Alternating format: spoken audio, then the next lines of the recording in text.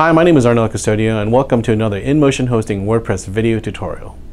Today we'll be discussing one of the updated features of WordPress 4.4, embedding. First, we'll define the OEmbed format used for the embedding feature. Then we'll demonstrate how to use OEmbed in a WordPress post. Lastly, we'll show how the WordPress OEmbed provider update affects sharing WordPress posts in non-WordPress sites. You may not be aware of it, but WordPress has supported OEmbed as an OEmbed consumer for the last several years.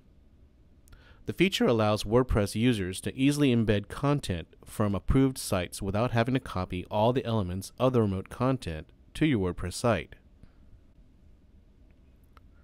WordPress version 4.4 updates this feature to allow WordPress to become an OEmbed provider.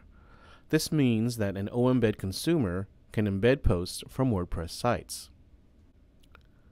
As defined in oembed.com, OEmbed is a format for allowing an embedded representation of a URL on third-party sites.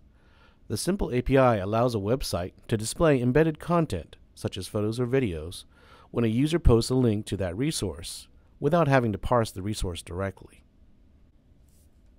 So in order to demonstrate how OEmbed works within your WordPress site, we're going to go ahead and create a new post. So first you need to log into your dashboard. So here I am within the WordPress dashboard. I'm going to click on posts. And then in post, we're going to click on add new. It's just a test post. And I've already copied a URL from the um, YouTube to show you how this works. It's very simple. Once you've got the URL for, for your YouTube video, you go ahead and paste it into your post. And then you can see it appear. See how quick it was? We're going to do one more example, and I'm going to show you how it looks by copying a URL from Hulu. So I grab the URL, then I'm going to go back. I'm going to go back into my post. And I'm just going to paste in again the URL.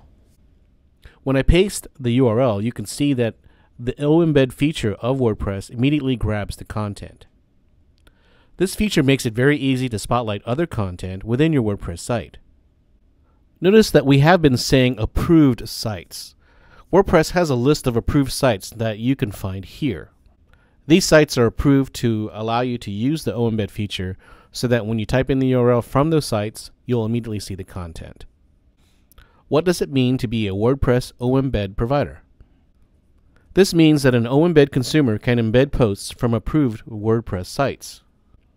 So, for example, if someone likes your WordPress site and the WordPress is an OEmbed consumer, they can use the editor on their site to add your post, in the same manner that we were adding YouTube and Hulu videos in our earlier examples.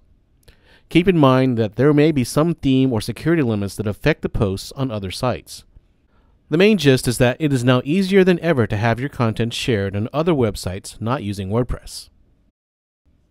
So in order to show how the WordPress OEM provider option works, we're going to go to a different type of website like Facebook, for example. So in Facebook, if you create a post and you copy the URL from a WordPress site, and I've got one here, I'm going to go ahead and, and paste in my URL, you can immediately see that Facebook creates a post based on your WordPress site. This is an example of how the WordPress OEmbed provider option works. Thanks again for watching this InMotion Hosting video tutorial. If you like the video, please give us a thumbs up below and subscribe to our channel. Also, please leave a comment below and let us know what kind of videos you'd like to see from us in the future.